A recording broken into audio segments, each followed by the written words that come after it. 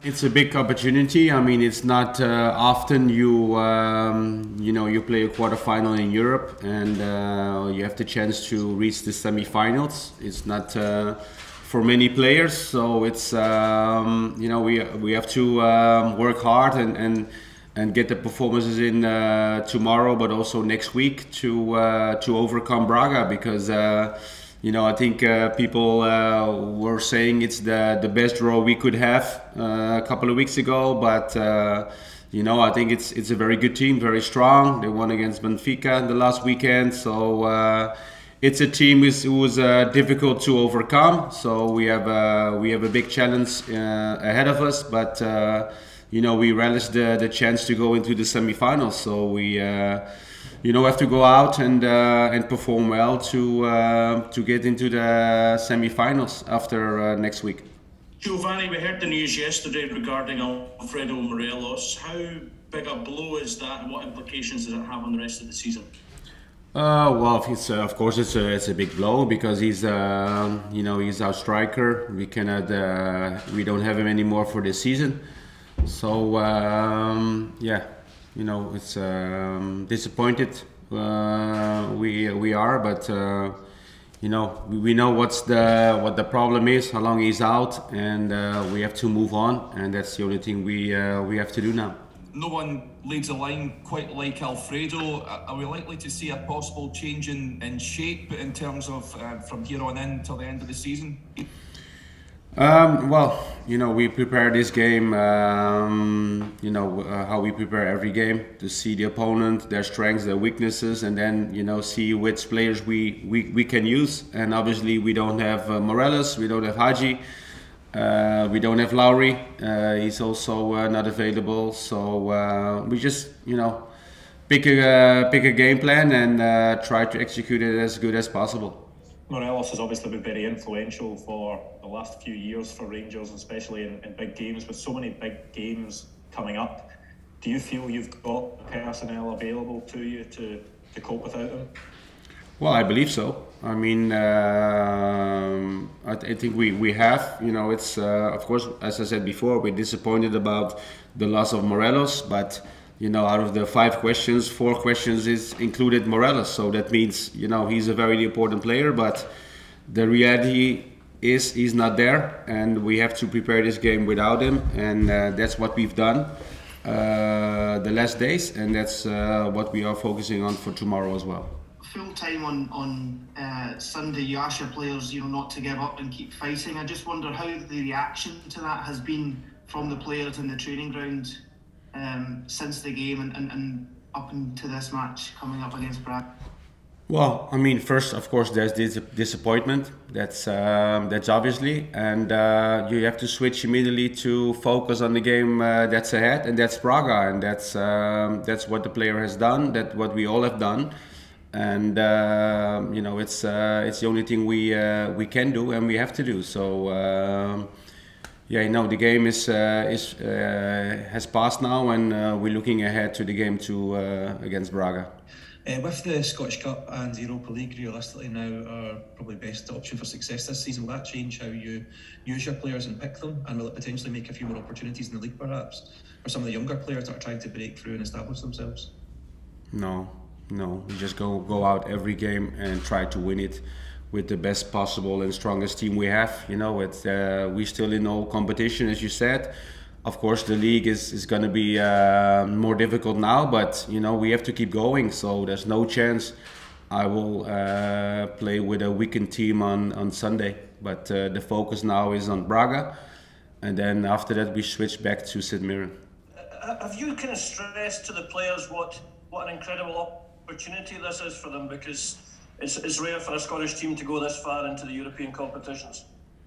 Yeah, of course. I mean, it's um, you know, uh, I think the last years the team performed really well uh, in Europe, also with uh, uh with Steven. You know, reaching um, uh, you know to be involved in Europe after after the winter break, which is you know also very good. Now we are one stage further, and uh, we try to get into the semi-finals and so it's um, not very often we are, uh, as a Scottish team, to reach the semi-final in Europe. So uh, That means uh, you know we are performing well in Europe, and uh, that's what we want to uh, continue and to uh, overcome Braga as well, which is going to be really difficult. But you know, to reach the semi-final, it's you know there's all to play for, and we we go out tomorrow and next week to to win this tie. This this tie could be worth several million pounds in terms of prize money and, and gate money. How important could that be to you come the summer in terms of the, the work that you want to do on this squad? Well, it's gonna, you know, it's you know when you win um, against Braga and you overcome the tie, there are so many positives out of the out of the of the win. Of course, you know the the the, the semi-final spot. You know, also finance financial is, is good for the club, which will eventually help all of us. So, uh, but in the end, you know, for me and for the players to focus on is is our uh, is our uh, you know our, our matches and, and, and, and the two games against Braga and, and try to uh, to win uh, to win the tie. We spoke a lot after the, the last round against Red Star Belgrade about, about the character of the players and the way they came through that test in Belgrade. Is, is that a quality we're obviously going to need to see again in terms of them being able to, to park what happened in Sunday to, to move on from it and, and to deal with this challenge now? Yeah, because it's you know it's it's Europe. It's very difficult as we've seen against uh, well all the all the games uh, we played so far. Also against Dortmund and Red Star, you know you have to be uh, have to be there in, in every department uh, you need on the pitch. Your you know tactical uh, awareness, your physical awareness, you know your way of playing, attacking, defending. It's you, you have to have the complete. Uh, you have to be complete on on, on, on Thursday to uh, to get a good result. So uh, we've managed to do that so far, and now it's just uh, you know the opportunity to do to do it again and to uh, to win against a strong opponent. How much pressure do you feel under to deliver at least one trophy this season? And was that something that was discussed as a requirement with the board when you, you took over in November? Well, I mean, they don't have to uh, explain the pressure in, in being manager of Rangers. You know, I've been here as a player. I um, I had the pressure when uh, I was manager at Feyenoord. So the pressure is always there, and um, you know, of course you need to perform. Uh, I want to perform well with with with my, with my team. The players want to perform well, and that's what we are trying to do and and, and work hard for. And then, you know, of course, in the end, uh, you you you want to have silverware. I mean, that's why you work hard all season, and uh, that's what we are gonna do until the end of uh, of the season in your analysis to Braga team, which were the, the team features and, uh, and the players that uh, stand out the most for you?